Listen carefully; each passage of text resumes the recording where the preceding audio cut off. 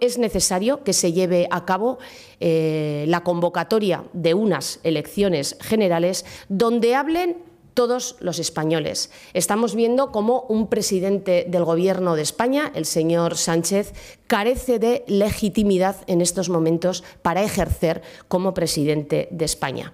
Está llevando a cabo políticas totalmente al margen de aquello a lo que se comprometió a las urnas.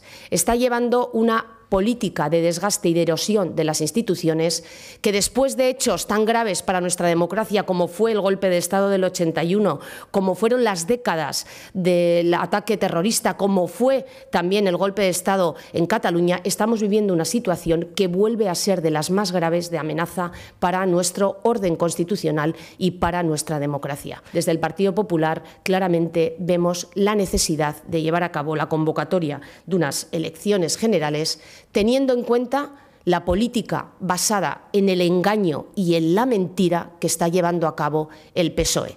Por cierto, mucho que ver una vez más entre el gobierno de Lambán y el gobierno de Sánchez. Una política basada en el engaño que lleva a hacer permanentemente anuncios basados en la propaganda, que van seguidos de un incumplimiento y que acaban en la frustración y en el perjuicio para todos los aragoneses y para todos los españoles.